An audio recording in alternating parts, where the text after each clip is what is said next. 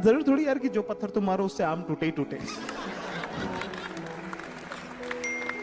कुछ कोशिशें तैयारी के लिए भी होती है।